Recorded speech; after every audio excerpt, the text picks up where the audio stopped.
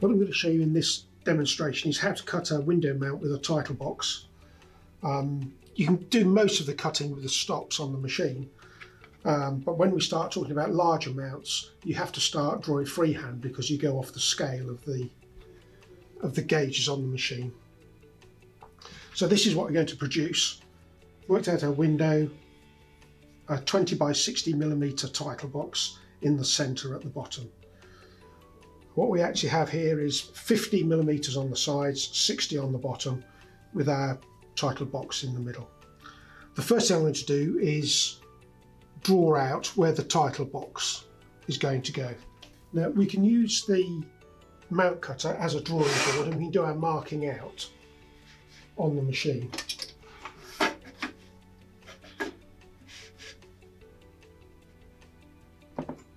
So the bottom of the title box is 20 millimeters from the bottom. I use the pencil at a bit of an angle because the blade cuts about a millimeter from the edge. So if you draw it directly on the edge, you're going to be slightly out when it comes to cutting. So I just use the pencil, propelling pencil, because you don't want to get too much lead on the edge of the blade either.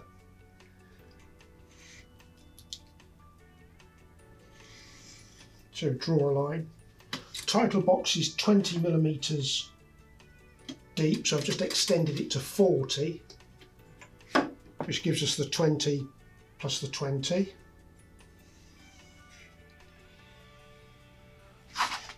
And I've worked out to give us a 60 millimeter box in the middle, we need to come in 95 millimeters from the edge. So I've set it to 95 millimeters and I'm going to do a long pencil line because it just makes it much more accurate when we come to do the cut.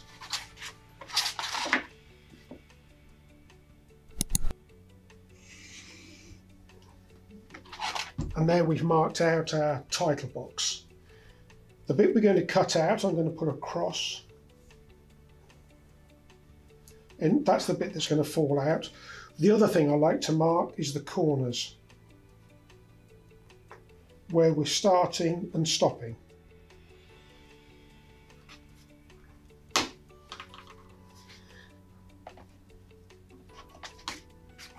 When it comes to cutting, the tricky one is the top of the title box. It's not so bad with this size of board, with larger boards, we go off the scale. So I'm going to cut all this freehand, not using the stops on the machine.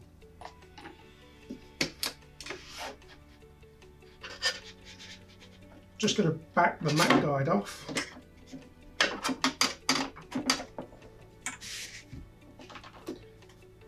And I'm going to start with the bottom. When you're cutting, the cross, the piece you want to fall out, must be under the cutting bar. If you can see it, your bevel's going to be going the wrong way. So I'm just lining up the pencil line with the edge of the cutting bar and I've got about a millimetre gap there again because the blade is cutting slightly away from the you can just touch the blade on the pencil line just to check it's in the right position.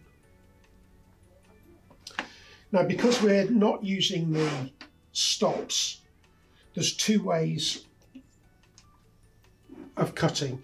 You can use the finger guide or there is a little notch on the side of the cartridge that holds the blade. You can use either as a guide. When you're cutting without using the stops, you can use the finger gauge. When I was doing some test cuts, and it's well worth doing a little bit of practice just to find out where it's slightly under or over cutting.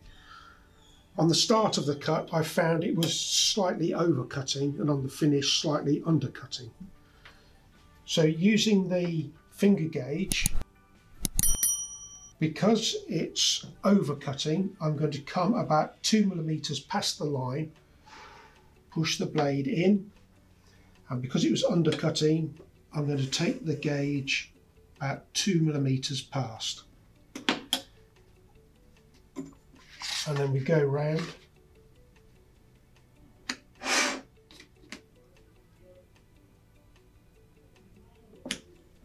Again, just checking the blades on the line starting just past the mark and just coming past with the finger gauge. Always making sure the bit that's going to fall out is under the cutting arm.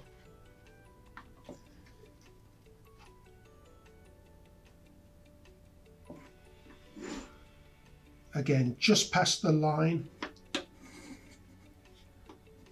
and then just going past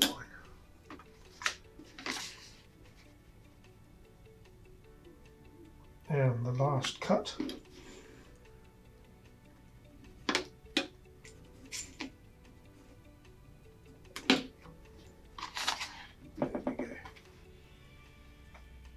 That's nearly there, it's slightly undercutting. It's always better to slightly undercut than overcut. If you just need to cut the last little bit, if you get a blade, you don't need any pressure. Just let the bevel take the angle and just pull it into the corner. And we do the same. And then just go around the corners. Just pull it gently into the corner. That one was good, that didn't need doing.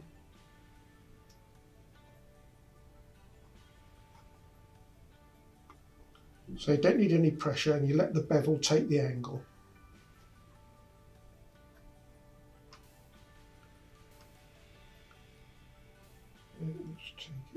Corner. There we go.